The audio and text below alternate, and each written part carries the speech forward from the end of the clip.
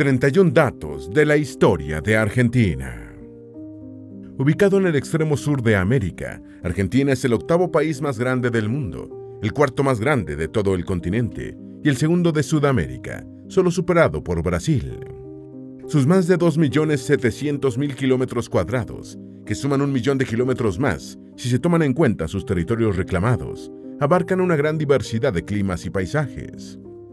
Desde los campos fértiles y sus ciudades con influencia europea, hasta el frío único del paisaje de la Patagonia, Argentina tiene una larga, fascinante, pero agitada historia.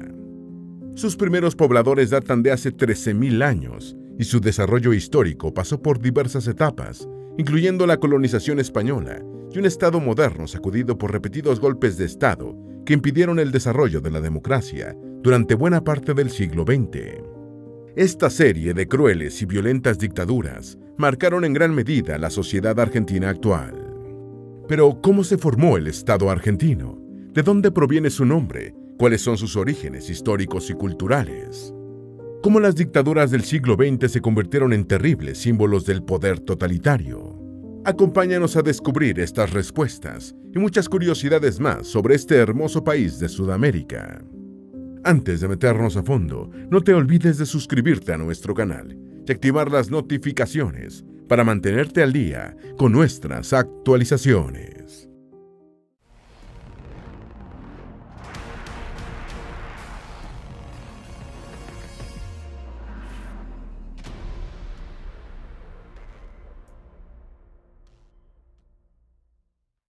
Número 1. Los primeros vestigios humanos. La evidencia más antigua de presencia humana en el territorio de Argentina se encuentra en Piedra Museo, un yacimiento arqueológico descubierto durante la primera mitad del siglo XX en la provincia de Santa Cruz. Estos restos datan del año 11.000 a.C. y se consideraron los más antiguos de Sudamérica, en conjunto con los yacimientos de Pedra Furada en Brasil y Monteverde en Chile. Se cree que los primeros pobladores del territorio argentino llegaron desde Chile por la Patagonia en el extremo sur del continente. Número 2. Historia precolombina. Los restos de estos primeros pueblos en el territorio se corresponden con un nivel del Paleolítico. Existen algunos registros de expresiones artísticas, al menos del año 7300 a.C., en la cueva de los Manos, declarada por la UNESCO como Patrimonio Cultural de la Humanidad. Antes de la llegada de Cristóbal Colón al continente y por lo tanto de la colonización europea, el territorio argentino tuvo una población principalmente aborigen. Las poblaciones indígenas podrían clasificarse en dos grandes grupos, que se distinguieron por sus actividades de subsistencia. Unos fueron cazadores y recolectores, que se instalaron en la Patagonia, La Pampa y Chaco.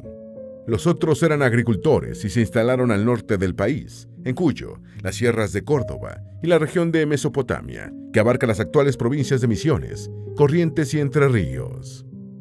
Número 3. El Imperio Inca. Durante los siglos XIV y XV, el Imperio Inca, una de las civilizaciones indígenas más avanzadas de la historia americana, conquistó parte del territorio argentino. Particularmente zonas de lo que hoy conocemos como Jujuy, Salta, Catamarca, Tucumán, La Rioja, San Juan, Mendoza y Santiago del Estero. Se suele atribuir la conquista inca al rey Tupac Yupanqui, quien lideraba entonces esta civilización y dominó los diversos grupos originarios que vivían en estas zonas, entre ellos los quechuas, atacamas, huarpes, mitimaes, entre otros. Número 4. La conquista española, 1516-1523. El periodo de la conquista española se desarrolló durante la primera parte del siglo XVI, a partir de tres expediciones distintas.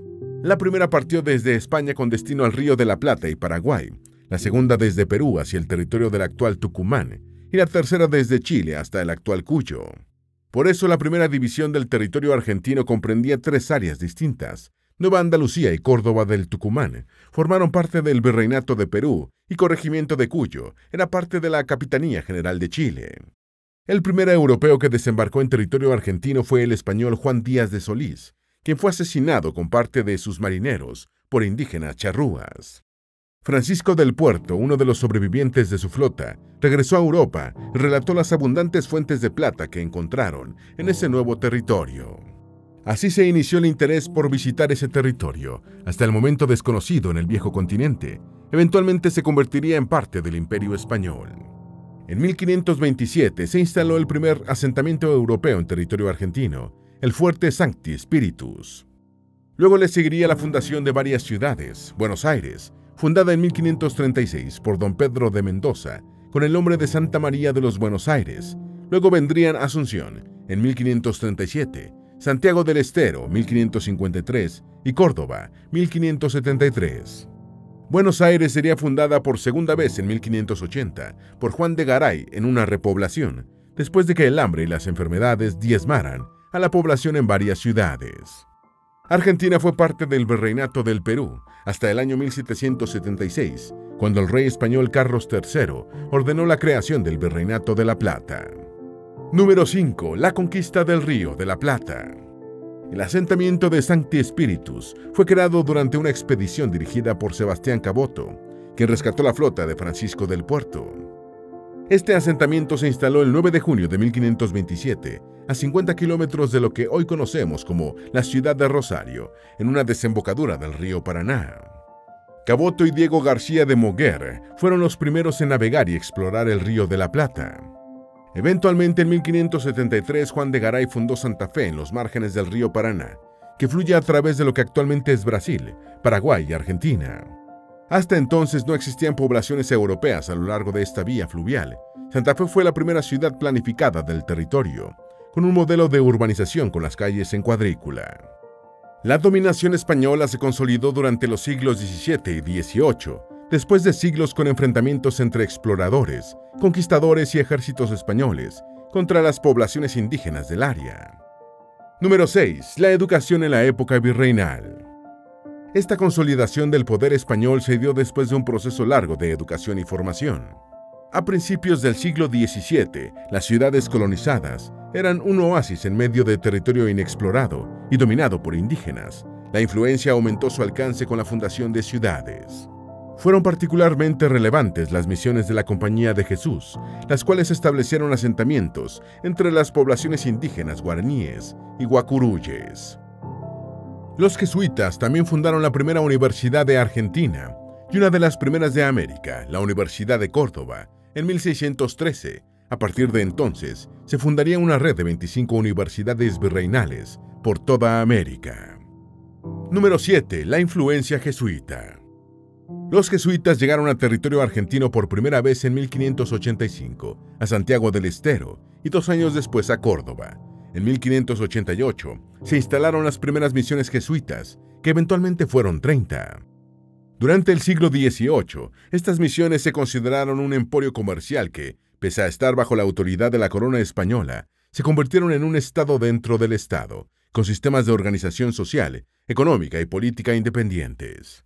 Estas misiones eran pueblos indígenas, supervisados por religiosos, pero administrados por los propios aborígenes. Comerciaban productos como cuero, tabaco y yerba mate. Estos indígenas guaraníes habían sido convertidos a la religión cristiana por los misioneros jesuitas. En las misiones se publicaron libros de diversos temas, incluyendo gramática y el catecismo cristiano. Sin embargo, en 1767, los jesuitas fueron expulsados de todo el imperio español por orden del rey Carlos III, quien acusó a la Compañía de Jesús de instigar una serie de alzamientos en contra de su monarquía. La expulsión se hizo efectiva en todos los territorios dominados por España, incluyendo por supuesto América, donde fue un golpe particularmente fuerte a los esfuerzos y desarrollos educativos de la región porque la mayoría de las instituciones estaban dirigidas por estos misioneros. Número 8. La esclavitud en Argentina. A diferencia del resto de la América dominada por el Imperio Español, Argentina no tuvo mucha influencia de la esclavitud. Si bien hubo esclavos, estuvieron en una muy baja proporción y no fundamentaron el desarrollo económico del territorio, pues no había hasta entonces minas ni plantaciones de caña de azúcar, las áreas que requerían más manos de obra. A partir de 1612, la corona española aprobó reformas para eliminar la esclavitud de la población indígena, a quienes reconocieron como cristianos y por lo tanto sujetos de derecho. Esto implicó un proceso muy determinante en la configuración demográfica argentina, el mestizaje. Número 9. La creación del Virreinato de la Plata. Las colonias españolas en América comenzaron a sufrir cambios a partir del siglo XVIII, debido a la sustitución de la Casa de Austria por la Casa de Borbón como familia real del imperio. Para entonces las colonias americanas eran casi reinos independientes, con un alto nivel de autonomía, pero todo cambió. Se convirtieron en colonias totalmente dominadas desde Europa. La creación del Virreinato de la Plata en 1777 fue parte de esos cambios. En esta nueva dependencia se unificaron territorios de Perú que habían estado muy dispersos y eran difíciles de controlar, también zonas de Uruguay, Paraguay y casi toda la actual Bolivia. Buenos Aires, que tenía un puerto de gran importancia, se designó como la capital del nuevo virreinato. Número 10. Descubrimiento y toma de posesión de la Antártida. No existen archivos actuales que confirmen cuál fue la latitud más al sur alcanzada por los conquistadores españoles, pero sí se sabe que la exploración y dominio de la Antártida Argentina se hizo en la primera década del siglo XVII. Los navegantes Gabriel de Castilla y Pedro Fernández de Quirós dirigieron las principales expediciones hacia latitud sur en marzo de 1603 y abril de 1606, respectivamente. Fue Fernández de Quirós quien tomó oficialmente posesión de todos los territorios hacia el sur, hasta el polo. Pero también se cree que durante el siglo XVIII se formaron los principales asentamientos en la Antártida Argentina, integrados por cazadores de focas que ocultaban sus territorios para evitar disputas de otros colonizadores, como los británicos. Número 11. Conflictos con Portugal y Brasil. Brasil comparte una de las principales fronteras con el territorio argentino. A diferencia del resto de Sudamérica, Brasil no fue colonizado por España, sino por Portugal. Durante siglo y medio, entre 1680 y 1828, España y Portugal mantuvieron conflictos en las fronteras de estas colonias. En la ciudad colonia del Sacramento, en Uruguay, todavía se pueden ver restos arquitectónicos, artísticos y culturales de las dominaciones alternadas de ambos imperios en la zona. Número 12. Descubrimiento de las Islas Malvinas. Ubicadas al suroeste de Argentina, en el Océano Atlántico Sur, las Islas Malvinas comenzaron a aparecer en los mapas durante la primera mitad del siglo XVI, después de ser avistadas por exploradores europeos. Sería el 31 de enero de 1764 cuando Louis Anton de Bougainville llegó a las islas por primera vez. En marzo, dos meses después, estableció la primera colonia en el territorio, sin embargo, en 1765, Francia acordó reconocer la soberanía española sobre las islas.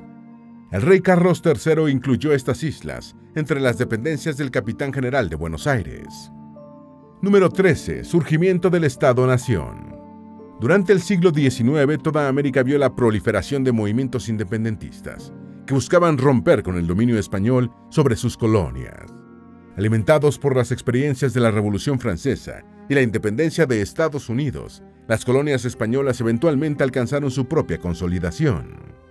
La larga lucha argentina culminó en 1816, con la declaración de la independencia. El país atravesó posteriormente una serie de conflictos internos, guerras civiles y enfrentamientos con pueblos indígenas, mientras se consolidaba como una nación. La Constitución Nacional fue promulgada en 1853, estableciendo un sistema federal de gobierno. Número 14. Origen del nombre de Argentina. La palabra Argentina proviene del latín argentum, que significa plata. Naturalmente, esto se debe a la gran disponibilidad de este metal bajo sus tierras. Sin embargo, no fue hasta 1602 cuando se usó por primera vez Argentina como nombre del país.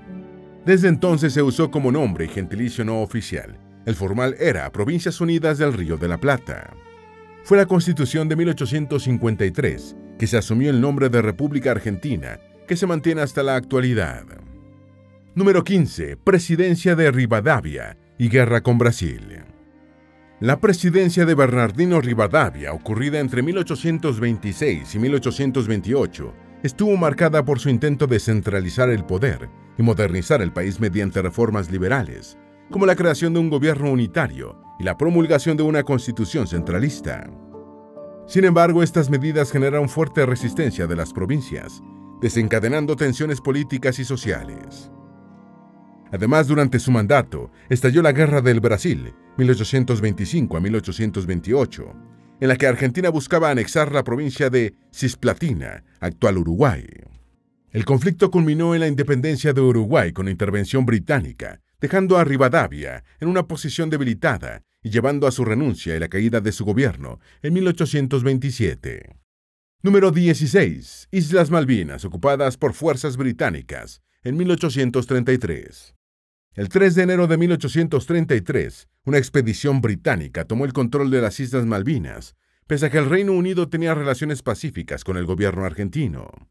La ocupación provocó una fuerte protesta por parte de Argentina, cuyos reclamos fueron ignorados. Este hecho marcaría las relaciones de ambos países hasta nuestros días, incluyendo un conflicto sobre el cual hablaremos más adelante. Número 17. La República Conservadora. Se llamó República Conservadora al periodo entre 1880 y 1916, en Argentina, marcado por una estabilidad política y un crecimiento económico sostenido. Durante este tiempo se consolidó el dominio de la élite terrateniente y empresarial, conocida como la oligarquía, que promovió políticas liberales y fomentó el desarrollo agroexportador, especialmente en la producción de carne y cereales. La llamada generación del 80, que incluyó los gobiernos de Leandro Alem, Carlos Pellegrini y Roque Sáenz Peña, entre otros, implementó reformas institucionales, como la sanción de la Ley de Educación Común y la Ley de Registro Civil, sentando las bases de la modernización del país.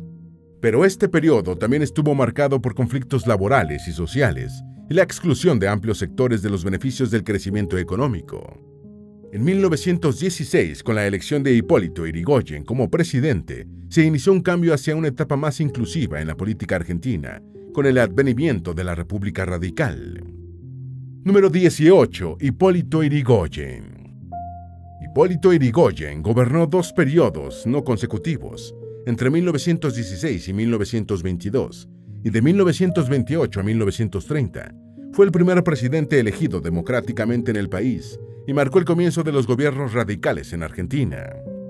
Durante su mandato, Irigoyen promovió reformas, leyes y medidas de protección de los derechos laborales. Sin embargo, su segundo mandato enfrentó desafíos económicos y políticos, lo que llevó a su destitución en un golpe militar en 1930. A pesar de sus altibajos, su presidencia dejó una huella duradera en la política argentina, al introducir el radicalismo como una fuerza política influyente y promover reformas que sentaron las bases para futuros cambios en el país. Número 19. La década infame. Fueron más de 10 años, pero al periodo entre 1930 y 1943 se reconoce como la década infame en la historia argentina. Durante este tiempo se sucedieron una serie de presidentes, en su mayoría vinculados con el conservadurismo, con fraude electoral, que gobernaron el país con métodos antidemocráticos y represivos. Esta década se inició con un golpe de Estado contra Irigoyen, dirigido el 6 de septiembre de 1930 por el general José Félix Uriburu. El fraude electoral y la manipulación de los procesos electorales se convirtieron en prácticas comunes para mantener el poder por parte de Uriburu, Agustín Pedro Justo, Roberto Marcelino Ortiz y Ramón Antonio Castillo, quienes fueron gobernantes. Este periodo estuvo marcado por el predominio de la oligarquía y el control económico por parte de sectores poderosos, mientras se socavó la participación política genuina. La década infame llegó a su fin con otro golpe militar. Número 20. El surgimiento del peronismo. El principal movimiento político argentino del siglo XX surgió en la década de 1940, dirigido por el general Juan Domingo Perón, de quien se deriva el nombre del movimiento. Perón, militar y político, fue secretario de Trabajo y Previsión Social y estableció una relación cercana con los sindicatos. Su movimiento político se basó en un mensaje de justicia social derechos laborales e inclusión de las clases trabajadoras en la política. La figura carismática de Perón y su esposa, Eva Perón, desempeñaron un papel central en la movilización de masas y la popularidad del movimiento. En 1946, Juan Domingo Perón fue elegido presidente, marcando el inicio de un periodo de gobierno peronista en Argentina, caracterizado por políticas de bienestar social, industrialización y un enfoque en los derechos laborales. Número 21. Los gobiernos de Perón. Perón tuvo tres periodos presidenciales no consecutivos, entre 1946 y 52, de 1952 a 55 y de 1973 a 1974. Se caracterizaron por un fuerte liderazgo populista y políticas orientadas hacia la justicia social. En su primera presidencia, Perón implementó reformas laborales, promovió la industrialización y estableció programas de asistencia social, ganándose un amplio apoyo de las clases trabajadoras. Sin embargo, su estilo de gobierno también fue autoritario, con represión política y censura de medios. Tras su derrocamiento en 1955, el peronismo fue prohibido y perseguido durante años. Regresó al poder en 1973, pero su segundo mandato fue breve debido a su fallecimiento en 1974. Número 22. La Revolución Libertadora. La Revolución Libertadora fue un periodo de tres años, entre 1955 y 1958, que inició después del golpe militar que derrocó al gobierno de Perón. Fue liderado por un grupo de oficiales militares y civiles que alegaban la necesidad de restaurar la democracia y combatir la corrupción y el autoritarismo del régimen peronista. La revolución resultó en la caída de Perón y su exilio, pero también marcó el inicio de un periodo de inestabilidad política en Argentina. Durante esta época se implementaron políticas de persecución contra los simpatizantes del peronismo y se suspendió el sistema democrático. A pesar de los intentos de establecer una transición política, la Revolución Libertadora no logró resolver los problemas políticos y sociales del país y fue seguida por una serie de golpes militares y conflictos políticos que continuaron durante décadas y marcaron la historia social argentina. Número 23. El desarrollismo de Arturo Frondizi. Arturo Frondizi ascendió al poder después de ganar las elecciones presidenciales en 1958 con un proyecto centrado en la promoción del desarrollo económico y tecnológico del país. Frondizi adoptó políticas de apertura económica e inversión extranjera, buscando atraer capital para industrializar y modernizar la economía argentina. Su administración fomentó la expansión de la industria y la infraestructura, incluyendo proyectos en energía y transporte. Sin embargo, enfrentó desafíos políticos y tensiones internas, especialmente con sectores militares y sindicatos, que lo llevaron a implementar políticas contradictorias y a enfrentar una crisis económica y social. Su gobierno terminó abruptamente por un golpe militar en 1962, que alimentó una vez más la inestabilidad política nacional. Número 24. La división entre azules y colorados. Después del golpe militar que derrocó a Perón, los oficiales del ejército se dividieron en dos facciones principales conocidas como los azules y los colorados. Los azules eran militares que abogaban por una línea más moderada y buscaban una transición hacia un gobierno civil democrático. En contraste, los colorados eran militares que favorecían una postura más dura y conservadora, incluyendo la proscripción del peronismo y una mayor intervención militar en el gobierno. Esta división reflejaba las tensiones políticas y las luchas de poder dentro de las Fuerzas Armadas argentinas durante ese periodo y contribuyó con la inestabilidad política nacional. Durante el gobierno de José María Guido, entre 1962 y 1963, estas dos facciones llegaron a una guerra abierta, con enfrentamientos armados, que culminó con la derrota del bando colorado y particularmente de la Marina. Número 25. La Revolución Argentina. Nuevamente entre 1966 y 1973, un periodo de poder militar y sometimiento social tomaría protagonismo en la historia argentina. El periodo conocido como la Revolución Argentina se inició con el golpe de Estado de 1966, que derrocó al entonces presidente Arturo Illía. El régimen militar impuso políticas autoritarias y represivas, restringiendo las libertades civiles y persiguiendo la oposición política, incluyendo a los seguidores del peronismo. Durante su mandato se llevaron a cabo reformas económicas y se buscó estabilizar la economía, pero también se generaron tensiones sociales y una creciente polarización política. La Revolución Argentina culminó en 1973 con la vuelta al poder del peronismo, primero con la victoria del dirigente Héctor Cámpora y eventualmente con el regreso de Juan Domingo Perón al poder, por tercera y última vez, marcando el retorno de la democracia. Número 26. Argentina rodeada de dictaduras militares. Perón ganó con el 62% de los votos. Sin embargo, la situación política era muy tensa. Hubo enfrentamientos entre peronistas, masacres de activistas e incluso el asesinato político del secretario de la Central General de Trabajadores. Por otro lado, en 1973 se instalaron las dictaduras militares de Uruguay y la de Augusto Pinochet en Chile, lo que dejó a Argentina rodeada de regímenes militares. Todo esto ocurrió en medio de una crisis del petróleo que resultó en una alta inflación, así como en un contexto de creciente aplicación de políticas de terrorismo de Estado en América Latina, en línea con la doctrina de la seguridad nacional promovida por Estados Unidos durante la Guerra Fría.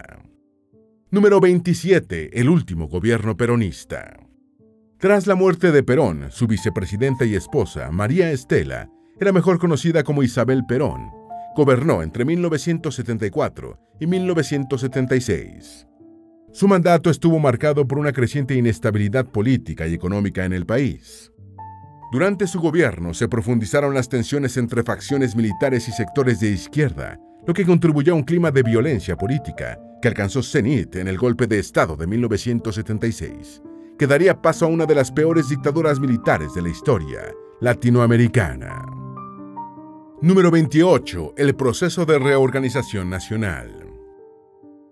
El proceso de reorganización nacional en Argentina fue un régimen militar que asumió el poder a través de un golpe de Estado y marcó uno de los periodos más oscuros y trágicos en la historia del país, entre los años 1973 y 1983.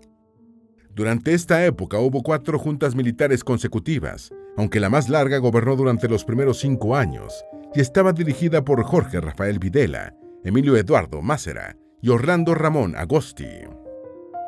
Durante este proceso se implementó una política represiva brutal, caracterizada por secuestros, torturas y desapariciones forzadas de miles de ciudadanos, en un intento por eliminar la disidencia política y combatir la guerrilla. Además, se implementaron políticas económicas neoliberales que provocaron una crisis económica y social significativa. La Guerra de las Malvinas en 1982, que resultó en una derrota argentina ante el Reino Unido, debilitó aún más al régimen militar que finalmente cedió el poder en 1983, dando paso a la restauración de la democracia en Argentina. Número 29. El terrorismo de Estado. Si bien Argentina tuvo dictaduras militares y represivas en distintos momentos de su historia, no hubo un periodo más oscuro que el de las últimas juntas militares. El proceso hizo una campaña sistemática de violencia y represión contra todo aquel considerado opositor político, disidente o sospechoso de participar en actividades subversivas.